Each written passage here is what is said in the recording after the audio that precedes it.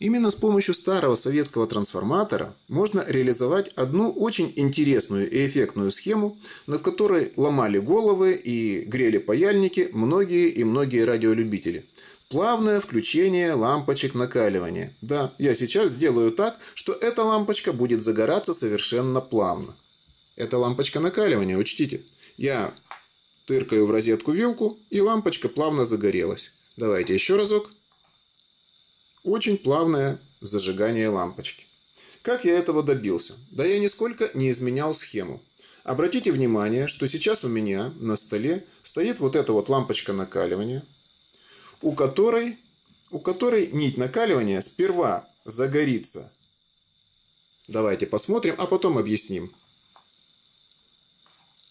Сперва загорится более ярко, а потом потускнеет в тот момент, когда вот эта лампочка станет гореть более ярко. Повторю еще раз.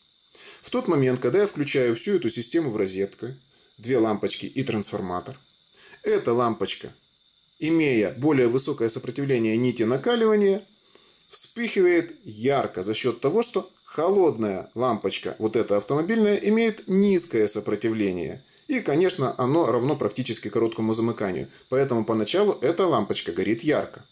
Но что происходит потом? А потом ток вторичной обмотки трансформатора в этой лампочке разогревает ее, сопротивление нити накаливания в этой лампочке увеличивается, за счет этого изменяются магнитные свойства трансформатора, и эта лампочка чуть-чуть притухает или пригасает. Давайте еще раз посмотрим на этот эффект. Ярко, тускло.